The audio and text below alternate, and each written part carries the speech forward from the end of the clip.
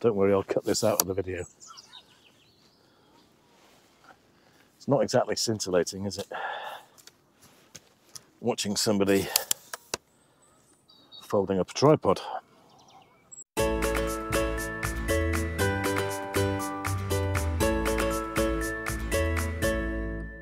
Hello, everybody, and welcome to a proper review video.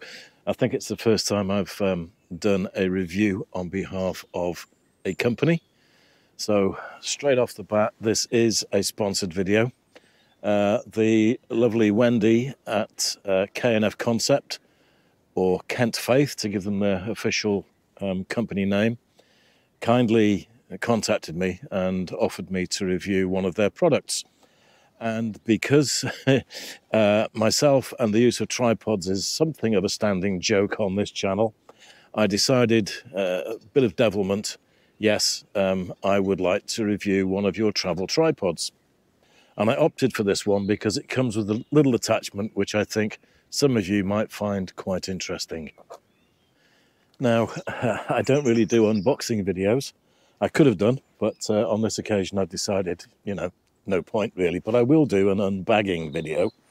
That's because the tripod, I think with regard to all of them, comes with a very nice carrying case, shoulder strap, which is affixed with um, snap lock uh, hangers. I'll put some stills up um, during the course of the video so you've got a better idea of exactly what the thing looks like. And uh, the carrying handle is closed with Velcro.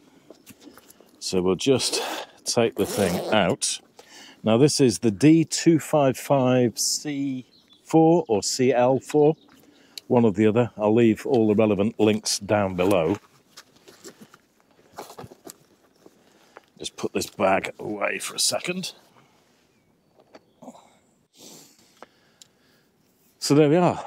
It's one of these um, carbon tripods which folds up sort of reversed on itself, which is the, the norm these days with these travel tripods. And on first inspection, it's lovely. I like the uh, orange finish to the aluminium collars and things. That's very smart.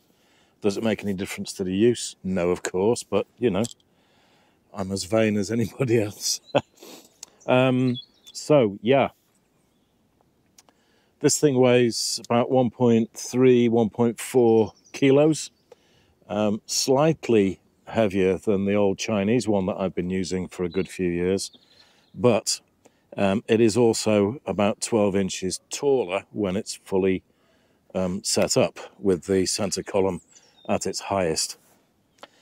Uh, it comes with a ball and socket head, which you can see here. Just let's get these legs out of the way. ball and socket head, very nicely finished.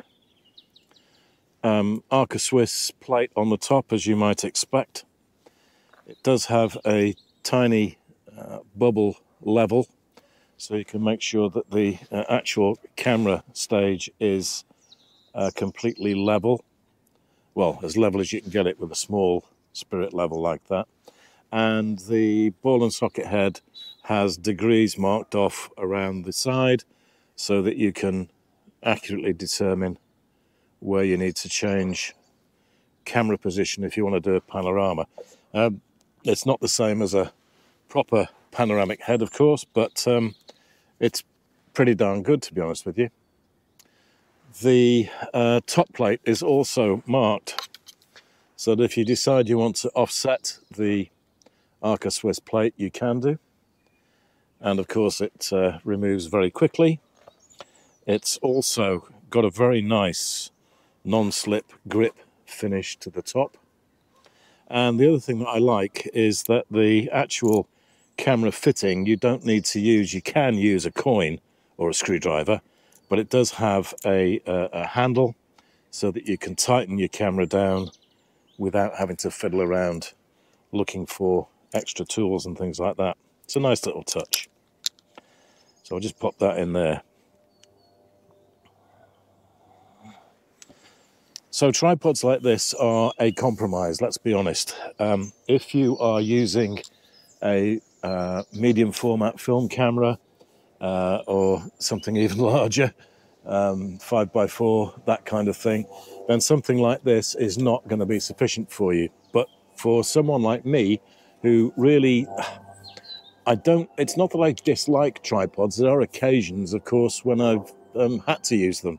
I'll put some nighttime images up for you to have a look at so that you know what I'm talking about because um, I guess I need to prove that I do occasionally use a tripod. So it's it's a compromise. Um, it's it's weight over practicality, I guess. And for me, this is going to be ideal. The legs are adjustable. When you fold them out to begin with, they lock in that position. Uh, but by altering the clips, you can change it to get it pretty much horizontal if you need to. And there's a, a nice spring action to these. They're not too stiff. Um, it comes supplied with an Allen key. So obviously over time, some of these uh, retaining bolts here can work loose, but you do get an Allen key included with it. Now the legs are twist lock. Nice and easy very smooth.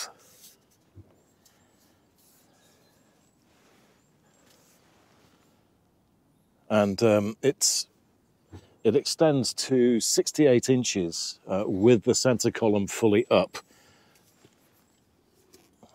Would I recommend you do that when using a camera on it? Probably not. If you can get away with not doing that, you'll have a more stable platform but nevertheless the height is there if you need it. And the center column is raised and lowered by this um, collar here, which has three uh, finger grips on it, if you like, and uh, just loosen it off and down it goes. Um, it is fitted with rubber O-rings, uh, top and bottom, so that when the center column does go all the way down, it's not metal on metal. There's a nice rubber O-ring here.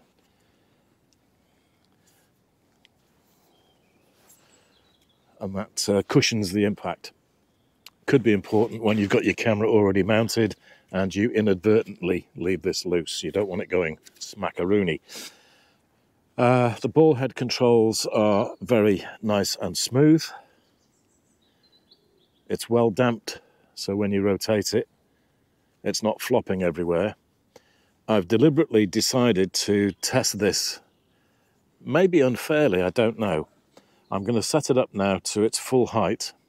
I'm going to put the EM1 Mark II on it, and I'm going to fit the 100 to 300 Lumix lens and set it to 300 mil, which is 600 mil equivalent, as you probably already know by now, um, to see exactly how much flex and or wobble we get, in particular when doing video. I'm just going to shoot a small, short clip of video with the lens set up like that.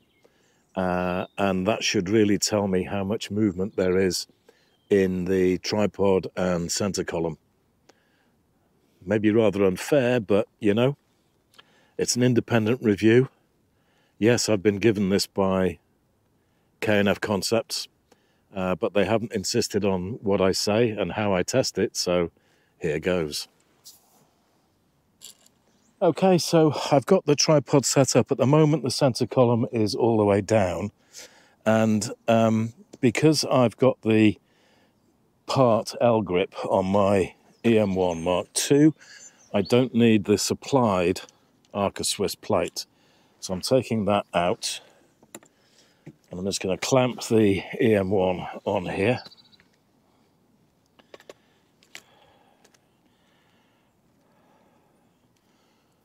Like so. And pan it round. Now you won't be able to see it on the GoPro. Um, one of the interesting facts about Princes Park, which is where I am, is the fact that it um, it was um, instigated by a guy called Vaughan Yates. and um, designed by Joseph Paxton. And it was actually opened in 1842. Now, for those of you that saw an earlier video of mine about Birkenhead Park, Birkenhead Park is the first ever public park in the world. And that didn't open until 1847 or 49. So I thought, hold on a minute, this place opened in 1842. The reason for the difference in dates is the fact that Prince's Park, this one, was actually a private park but open to the public. Um, and Yates expected to get his money back by building and selling a lot of Georgian houses all the way around the perimeter. And I'm going to photograph one of them, which is visible through the trees over there. Now, bear in mind, this is with the center column down. And at the moment, the lens is set to 100. So that's 200 mil equivalent. And I'm just going to do some video. Now, the tripod is set up on the tarmac footpath. And I'm just going to walk around it. I want to see if I can make it vibrate at all. I'm not exactly a svelte human being anymore. Um, so I'll be interested to see if we get any shake in that whatsoever. And now I'm going to zoom in. That's all the way into 600 mil. 600 equivalent. Oops. Pardon me for all the movements. There we are. Now it's a fairly breezy day today as well. So um, if it can cope with this, I'll be more than happy. Again, I'm going to walk around and I'm actually going to tap the tripod now. I'm going to flick it. So apart from hearing me tap the tripod, you can see the image vibrating. So there is some flex in it, but bear in mind we're at 600 mil here. Now I'm going to extend the center column. And I'm taking it all the way up. I have a suspicion it's fo it's focusing on the trees rather than the building, but nevertheless, I hope you get the idea.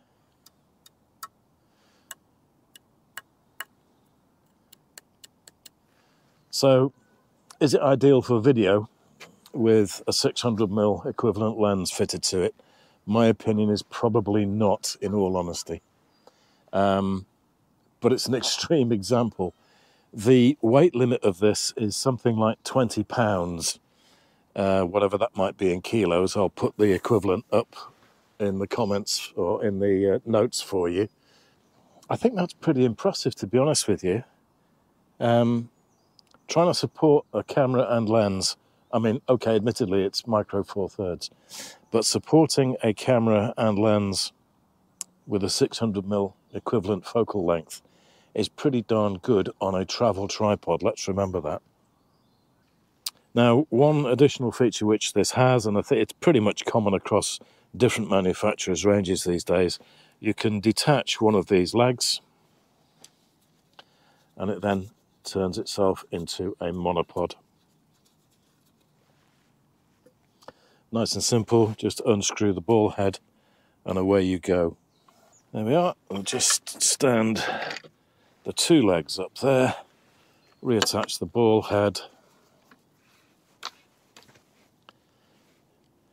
and you have a very useful monopod. Um, okay, admittedly, it's a little bit on the short side, but of course, the beauty with these modern cameras is that you can use the tilting screen to still frame your shot up, even though this may be below eye level. I'm testing this tripod. It's a travel tripod, so it's not like uh, it's not like one of the big, heavy professional ones. I'm doing it now. Oh, sorry, I it's all right. Just had an extended chat to that gentleman as he went past, so I've lost my train of thought. Anyway, um, I've now taken the 100 to 300 lens off, put the 12 to 40 on, and I've actually splayed the legs out I wanted to see how much sort of up and down flex there might be with them in this position. And to be perfectly honest with you, there isn't any. That is very stable. If I lift the center column up,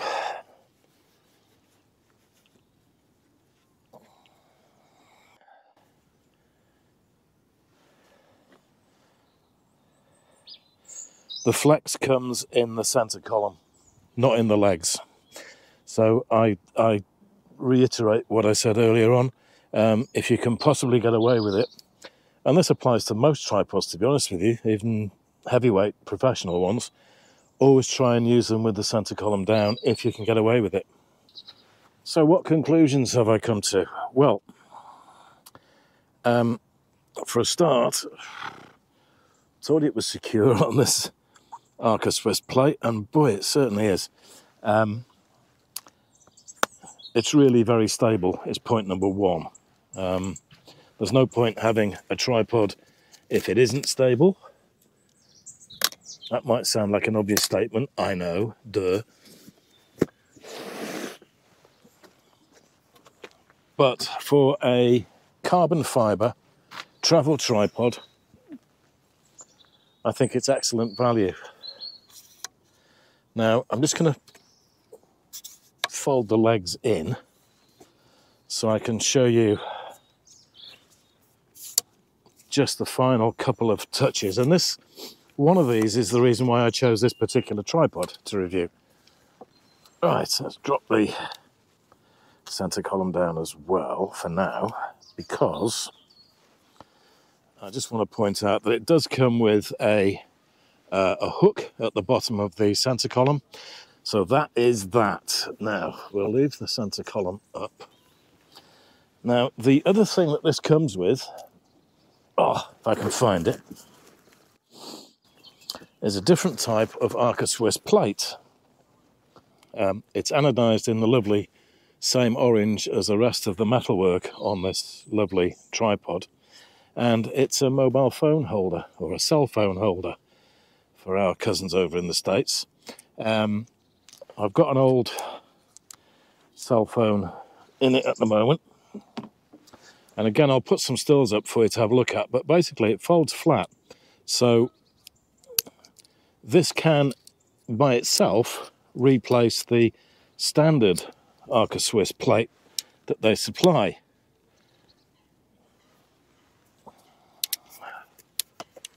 Like so. Um, great idea. But because it's flexed, hinged rather, at both ends, you pull it out and twist and it's spring loaded and it will take um, quite a few different cell phones, mobile phones. The one that I brought out is an old Samsung. Um, I suspect if you've got one of the latest and biggest um, iPhone Pro Max 134, whatever they're up to these days, um, it probably wouldn't um, take a very large mobile phone. But what a great idea, don't you think?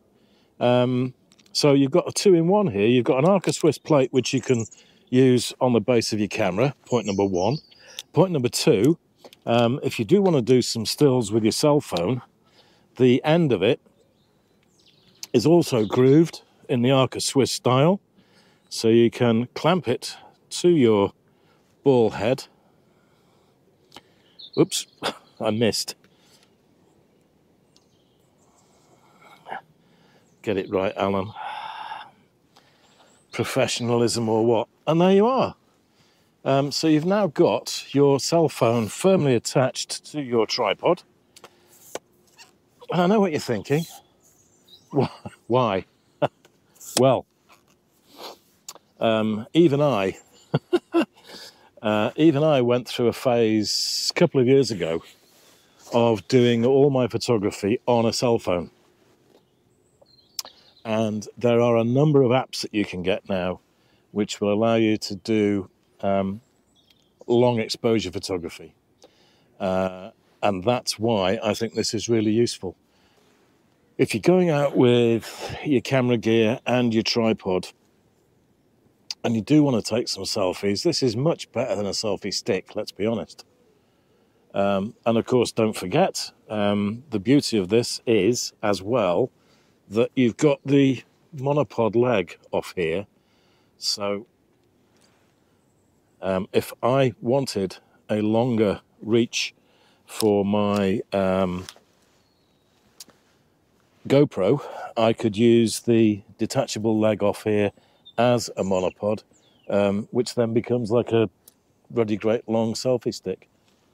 Um, it's very flexible, that's what I like. And um, I just thought this little addition was a good enough reason for me to actually pick this one to review rather than a more uh, boring standard version. so there we are, the K&F Concept D255C4. Uh, there is a short um, product number for it rather than that long uh, one that I've just given you, which I'll, I'll put in the notes down below. So if you'd like to uh, invest in not just a tripod, but um, any of the K&F Concepts range of products, um, if you quote my um, code number, which I'll put in the notes down below, you will get 10% off. And I think that goes on until December of this year. So um, I am unashamedly saying take a look at their website. Uh, there's an awful lot of stuff on it. And if, like me, you like good products, then to be fair, they are really, really good. Um, I love their filter set, and this is going to stay with me. Nice little tripod. So there we are. That is my first sponsored review video. I hope you get something out of it. Uh, whether you will buy one of these or not is entirely up to you, of course. Um, but in the meantime, I hope you will continue to enjoy your photography. Otherwise, why bother? Uh, and I'll see you all very soon for another video. So take care, stay safe. Bye for now.